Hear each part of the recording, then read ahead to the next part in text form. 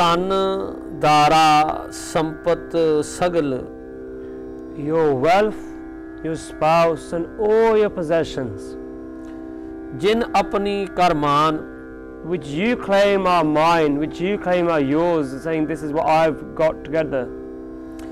ਇਨਮੈ ਕਛ ਸੰਗੀ ਨਹੀਂ Guru Sahib says, None of these will go with you at the end.